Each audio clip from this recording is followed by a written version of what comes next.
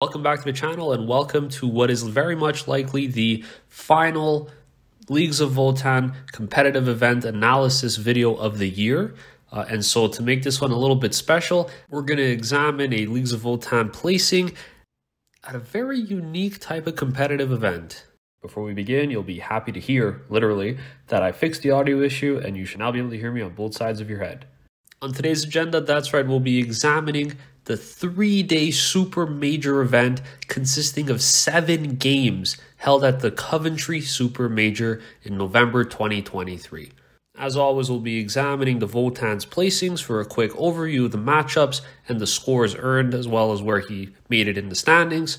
We're then going to jump into the list analysis. We're going to discuss some strengths and weaknesses, and then we'll contextualize the results of those placings. Jumping into the Coventry Super Major three day event held on November 10th to 12th, 2023, we see the list we're examining today was piloted by Danny Porter, who went fifth place out of 146 players with a seven wins, one loss standing. Matchups of the days included Votann versus Tau with an 85 to 68 win, Votann versus Astra Militarum with a 94 to 56 victory, Votann versus World Eaters at a 97 to 60 lead, 84 to 66 victory for Votann against Chaos Space Marines, which might seem surprising, as we'll see later on. Votann versus Aeldari, 87 to 78, another surprising victory. A Votann defeat of 36 points, the Chaos Space Marines victory of 100 points. Votann with an 82 win against World Eaters at 68. And lastly, Votann with an 87 point victory against Aeldari at 77 right off the bat, some of you might be a little shocked or surprised to see the results of some of these scores. I know I certainly was, particularly with the Eldari, which we will touch upon later in the video. Let's take a look at the list and contextualize some of those matchups. Starting things off, we have two Einhyr champions, each leading the unit of 10 Einhyr Hearthguard. Uh, both loadouts here for the Hearthguard are identical. We got the Hesyr running the Concussion Hammer, which is mathematically better than any of the two options they could equip.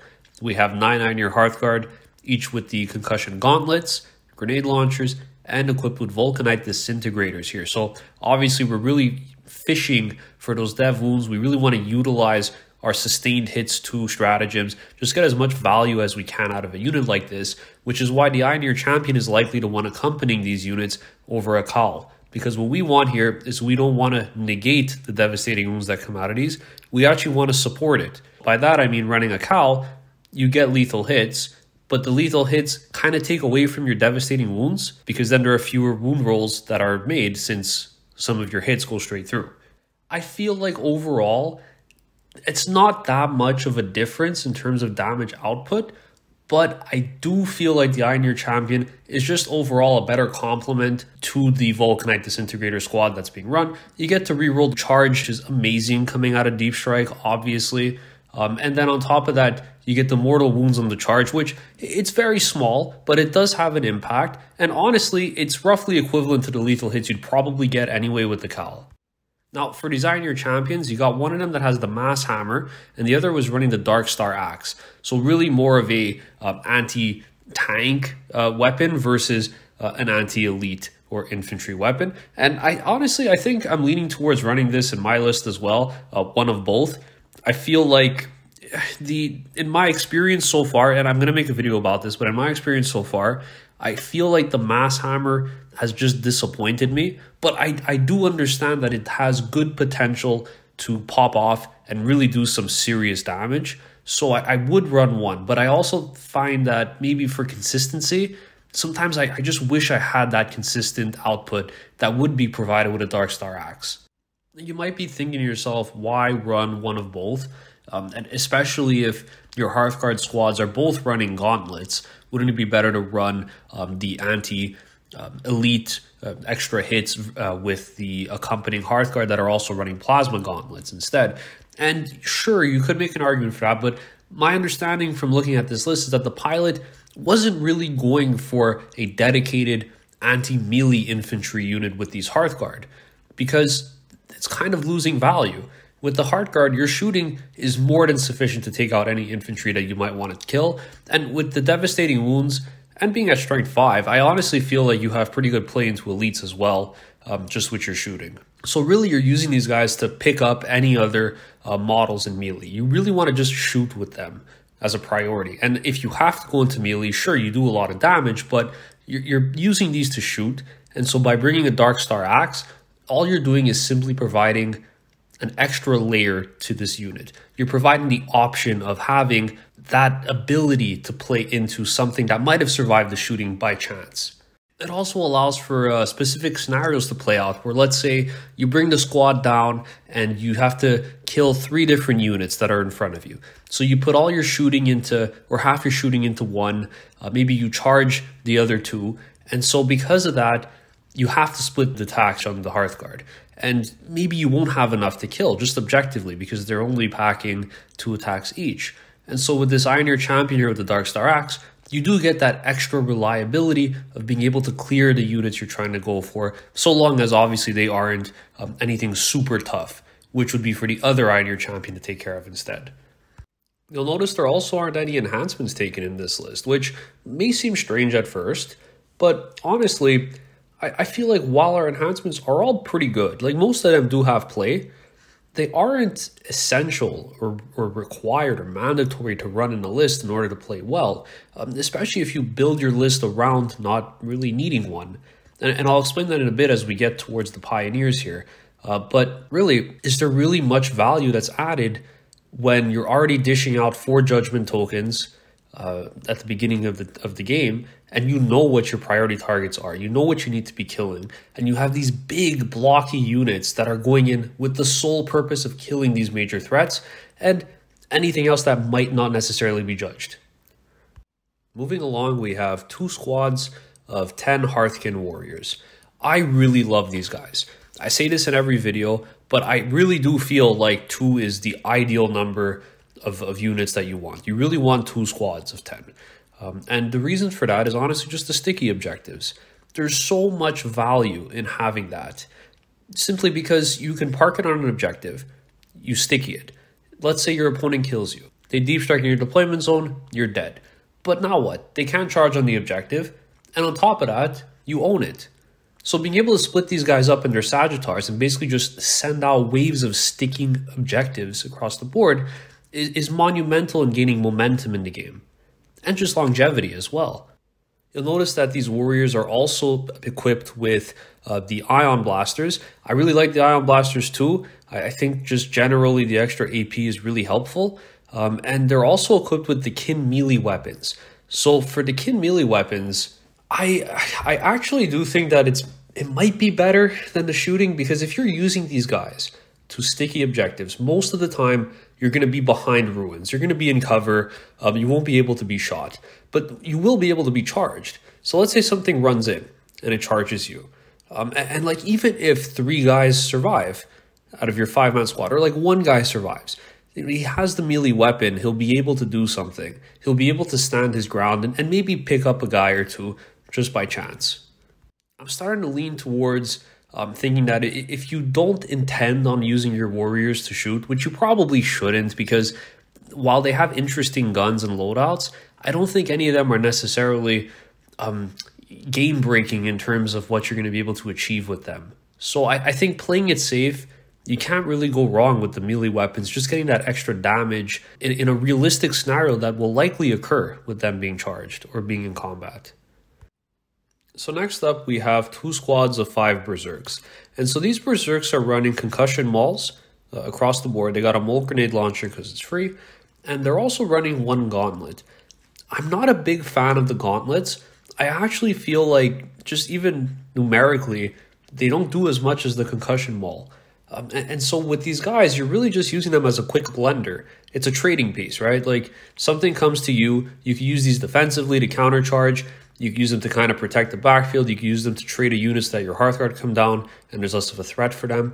And so I, I feel with these, you either want to commit fully to having the concussion mauls so that you're able to clear out any elite threats, or you want to commit to running one squad or two, uh, maybe one with the axes, just so that you have the capacity to clear hordes that might be in the way. So I'm not too sure how the gauntlets played out here in these matchups, but I, I would totally be curious to hear uh, from the pilot how he felt they performed. So just jumping back to the Hearthguard here, I didn't mention it, but obviously these are in Deep Strike. Um, there's no Hekaton to transport them. There's minimal value in starting them on the board because, um, I mean, really you're slow, right? You only have 5-inch move.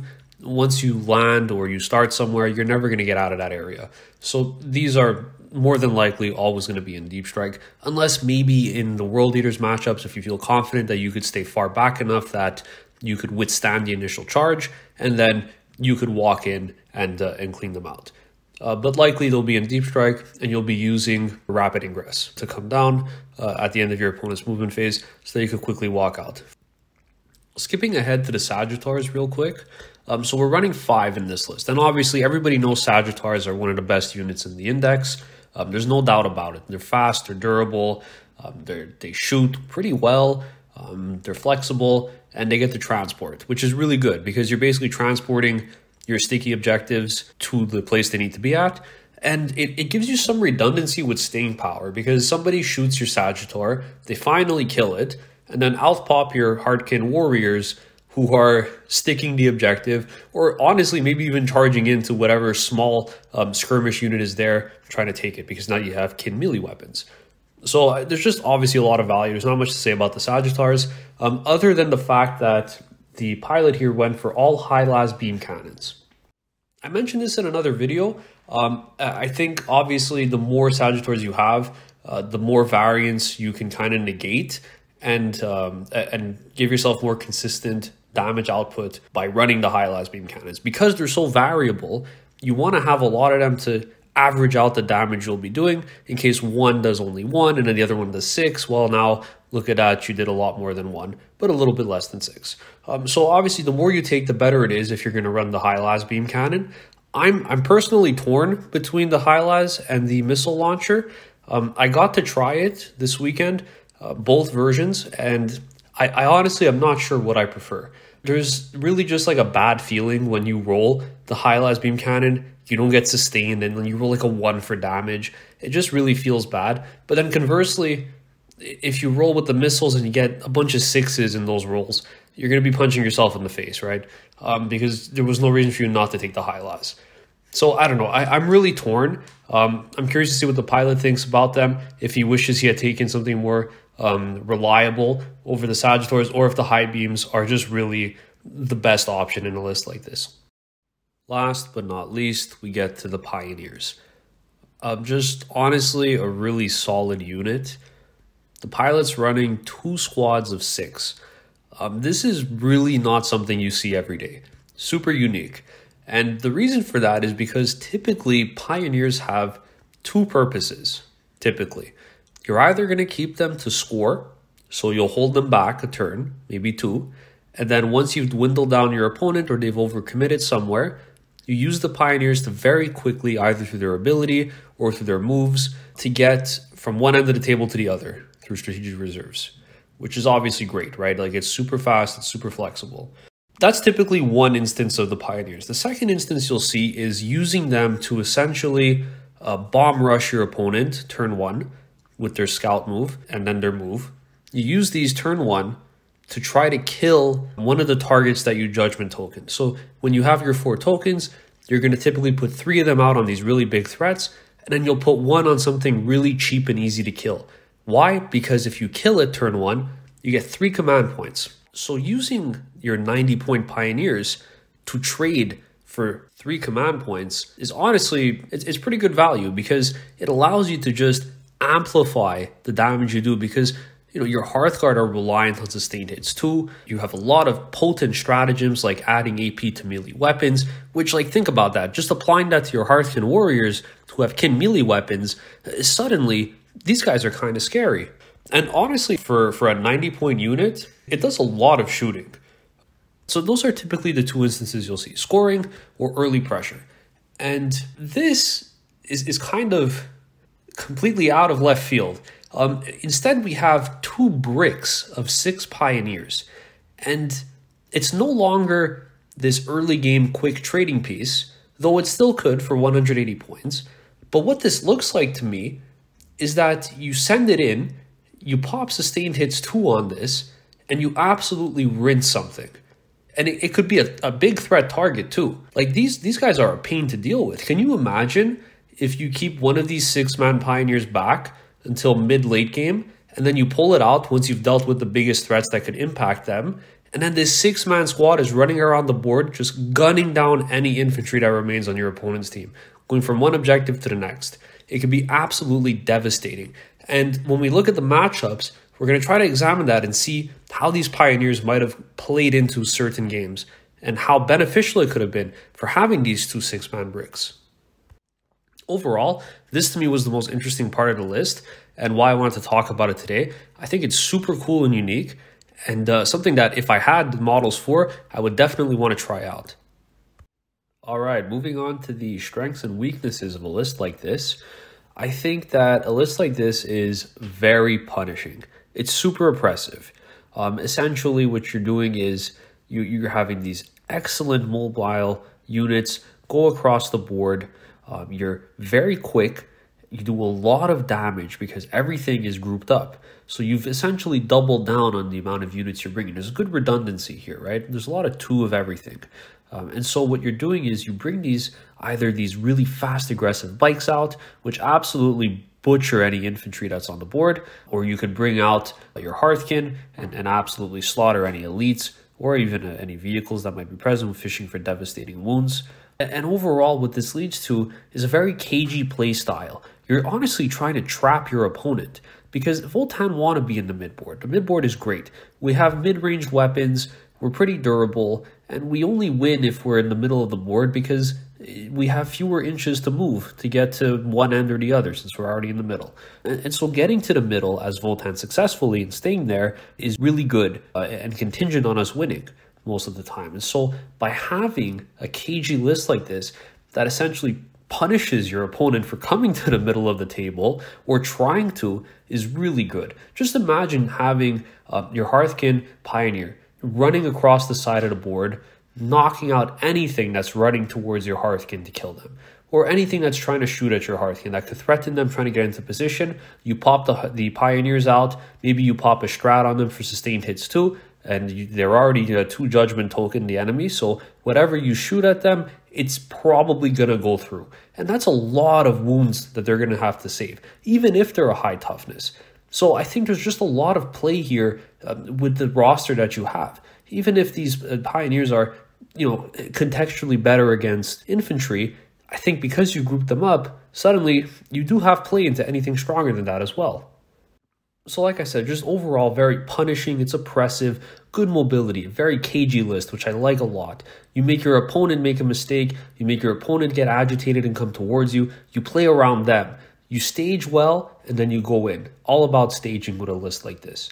Um, you're also really strong into elite and light infantry, as I mentioned. It's a really good, reliable mission play, too. Basically, by that I mean five Sagitaurs transporting sticky objective units, transporting berserkers if you need them to, because you do have that flexibility, right? Let's say in one game you can afford to not send out an extra infantry squad and you want to send out berserkers instead, do it. Or maybe you want to send two berserker squads out do it. Or maybe you know your opponent is playing the aggressor and he's going to be coming to your backfield. Okay, keep your berserkers there, send out all the infantry forward. I think honestly, you got really good mission play in, in a list like this, good secondary scoring as well, and, and honestly, it's just very unique. I feel like not a lot of, besides the Sagitaurs, not a lot of opponents would be used to playing against a list like this that runs double squads of six man bikes. It's just really cool to see. And in addition to being cool to see, I think it means your opponent could make mistakes because they don't know how much damage they might need to do to commit to killing the bikes. They don't know how much damage the bikes will be able to do in return. I really think something like this, mind games, like I mentioned in the last video, is also really important to optimize your chances of winning. Giving your opponent difficult decisions, things that they're unsure of, anything that'll make them hesitate or maybe make a mistake, and then with your KG list, you capitalize on that and punish them just really strong. And I, I, really do think that there are a lot of strengths here um, that are very obvious to look at.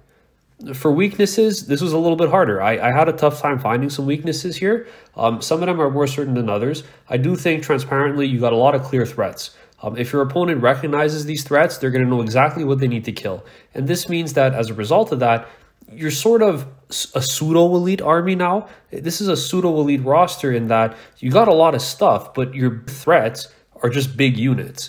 So it's very easy to say, oh, okay, these things, there's four of them, and they all look like they could kill me. Um, I'll try to kill these first. And if they do, mm, you're going to have a tough time.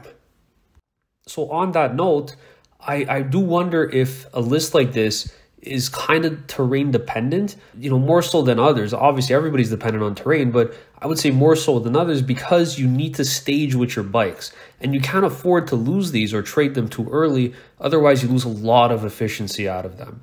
Uh, and so maybe you're looking for tails that have a lot more terrain on them, or maybe you're more negatively impacted if there's less terrain available.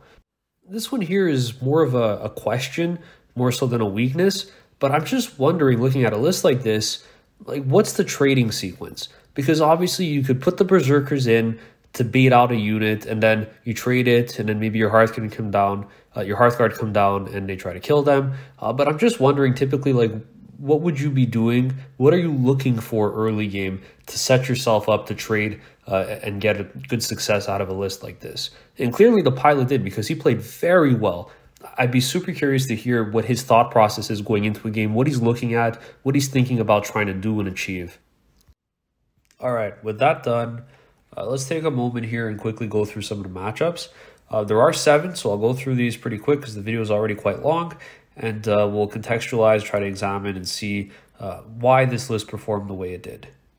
Kicking things off with the Tau game here, uh, we do see it was an 85 to 68 victory for Votann. Um, I, I would like to think that Votann in general play pretty well into Tau. I, I think it's a pretty good matchup. It's favorable to us, uh, mainly because Tau has typically uh, a few big units that are threats. They got their crisis suit bombs that are coming down, and either some kind of vehicle or they're running breachers or something like that. So I, I think it's quite easy. And obviously, breachers would absolutely get destroyed uh, by a list like this. So if they are running breachers, that's not great. Um, I think another really key strength of this list into Tau is that typically you'll have to trade your Hearthguard unit into the Crisis Suits. So you'll lose a lot there, but you'll end up killing the unit. However, I think with this list, you can actually trade your Pioneers into the Crisis Suits and probably do really well into it as well. So it's like a 180 point unit, and you're going to be able to get back like 300 points, which is really good.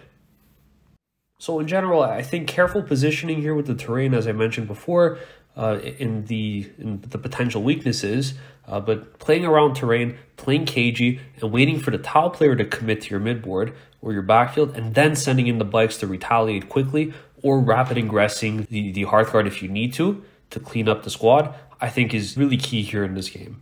And obviously, Votann did really well here and ended up pulling the victory against Tau.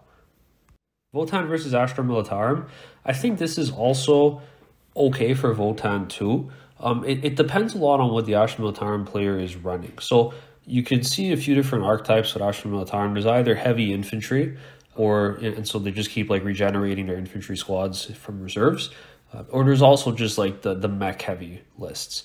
I think either or Votann does well, but I think Votann might typically struggle into the all infantry list. But with the inclusion of two six man bike squads, I think you actually are favored in that matchup quite significantly. Just being able to bring your squad in and reliably pick up as many units as you can shoot because you're constantly wounding on twos basically all the time if they have a judgment token. And for the most part, even if they don't, since you're running high lies, I think it's a really good matchup into T3, which is what we see here. And these bikes do some serious work. I think all in all, uh, if Votann's able to get to the midboard without dying, which they could because they obviously have deep strike and the bikes are really fast, and so are the Sagitaurs, they have great staging here in this game, and they'll be able to hold it against Astra Militarum with the capacity to be able to overextend your bikes and kill whatever threats might be coming your way. Votann versus World Eaters. Um, so there's two matchups of this that happened, and so I guess I'll just quickly touch upon how I think both of them went down since they were very similar outcomes. Uh, so much so that we see for World Eaters, uh, they were both in the 60s range, and with Votann, uh, two different scorings, obviously, uh, but I think overall we can expect that they're quite similar lists, uh, especially with the uh, the dominant archetype now of running Angron and as many Exalted as you can. So with something like this, I again feel like Votann is just really good into World Eaters, but I actually think it's a really fun matchup. I think in something like this, the World Eaters are super aggressive, and if they can successfully navigate the board to get to you uh, without losing their army, I think that they actually are quite punishing. One of your saving graces here, however, is that besides the very initial onslaught that World Eaters get with the pregame moves uh, and just the quick mobility, they have no real threat into your very quick bikes. And so I'd imagine the Votann player had um, a pretty good game here if he was able to keep his bikes alive past turn two, because then he was able to just basically free reign, drive around the board, picking up uh, any infantry that he sees. So honestly, I, I do think Votann have a very strong matchup here into World Eaters, but I think it's still a very fun game overall. Next up, we see Votann versus Chaos Space Marines. This happens twice in the event. Uh, the first one's a victory of 84 to 66, and the second one is quite a drastic loss of 36 to 100. I don't have access to the Chaos Space Marine lists, unfortunately, but historically, we know that Votann does struggle into Chaos Space Marines.